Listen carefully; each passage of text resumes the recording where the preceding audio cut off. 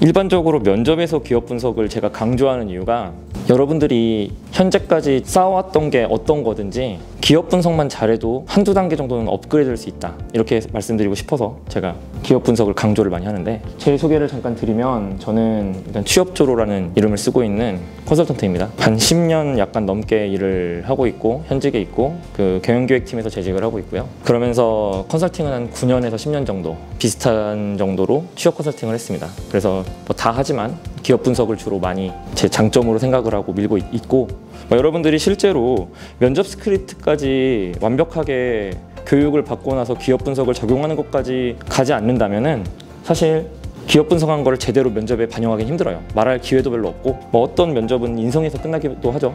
인성만 면접만 하면서 끝나기도 하죠. 그런 어려움이 있는데도 불구하고 그렇게 필요 없는 상황인데도 불구하고 그거를 알고 있어서 기업을 잘 알고 있어서 내가 자신감이 상승한다는 거 그거 하나만으로도 지원자한테 되게 큰 메리트가 됩니다. 그리고 엣지 있는 답변은 사실 여러분들이 오늘 이 강의만 들어서는 그 엣지 있는 답변을 명확하게 다 못 담아낼 수도 있는데 한 세 가지 정도의 질문에는 엣지 있는 답변을 담아낼 수가 있어요.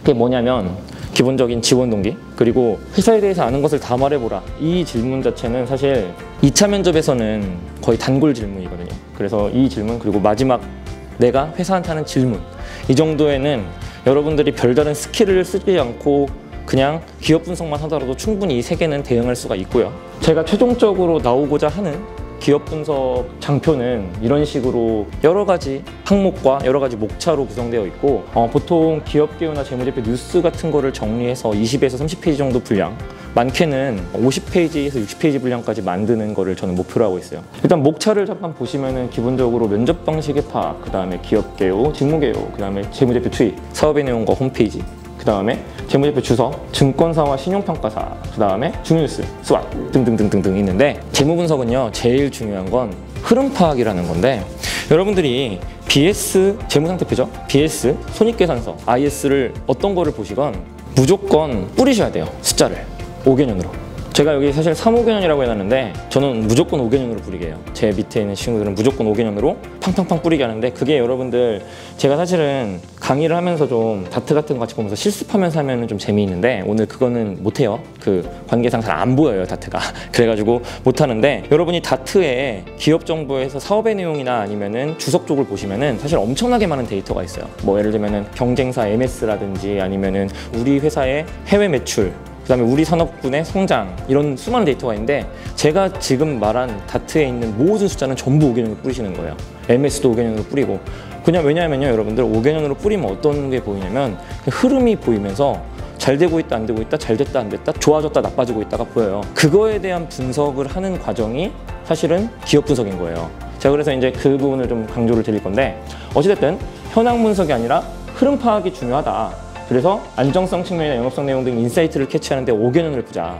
그리고 유의사항은 연결이랑 별도 재무제표를 확실하게 체크해라. 사실 이거 같은 경우에는 이제 뭐 어려워하시는 분도 좀 있어가지고 그냥 간단히 말씀을 드리면 계열사 많은 회사 같은 경우엔 연결로 계열사의 지분을 가지고 있는 계열사의 매출이나 이런 걸 더해요. 이거를 내 직무에 따라서 그리고 나의 상황과 그다음에 그 회사의 상황에 따라서 사실 매번 선택을 해야 돼요. 내가 별도를 외워갈지 연결을 외워갈지 무슨 얘기냐면 회사가 있어요. 그 회사 같은 경우에는 밑에 가 하는 중공업 회사가 하나 있고 그리고 투어라는 여행 회사가 있어요. 이제 이런데 그러면은 우리가 푸드의 연결 매출을 잡으면 그 우리가 식품이 아니고 식품이랑 식품 유통 그 다음에 이제 식자재 보통 이제 식자재 하는 회사거든요. 식자재나 급식하는 회사인데 급식 식자재가 아니고 중공업이랑 여행 매출까지 잡힌단 말이에요. 그러면 내가 만약에 푸드에 영업으로 갔어. 근데 영업이면 어차피 식자재 영업 아니면은 뭐야 급식 영업일 거 아니에요. 근데 뭐하러 중공업 잡힌 걸 봐요. 그죠? 그럼 별도로 봐야 되는 거예요. 단순하죠. 근데 내가 재무거나 기획이야. 나는 전사적인 관점에서 바라봐야 돼. 당연히 연결로 가져가야지. 그런데 여러분이 그런 걸 선택하기 힘들 때 뭐 별도의 연결이 설득하기 힘들, 선택하기 힘들잖아요. 그러면 단순해요. 그거를 선택하는 게 중요한 게 아니라 그걸 말하는 게 중요한 거예요. 뭐냐면 매출액을 말하실 때 연결 기준으로 얼마입니다. 별도 기준으로 얼마입니다. 이러면은 그거 한마디 하면 재무제표 그냥 기본적인 깜냥이냐 없냐를 다 알아요. 근데 여러분들은 당연히 딱 들어오면은 아 매출액은 4,527억 막 이렇게 딱 기계처럼 외워가지고 딱딱딱 말하시잖아요.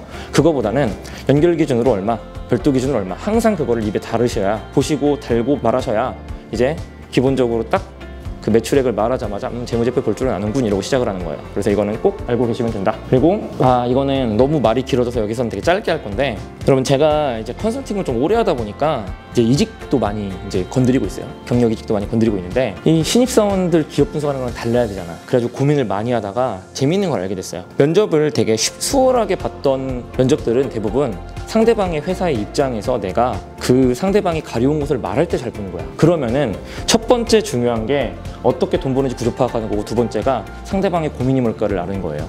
사실 기업 분석하는 이유 자체가 뭐냐면 상대방의 고민이 뭘지를 알고 그럼 내 직무에서 그 고민을 어떻게 해결할지 이게 기업 분석에서의 제일 핵심이거든요.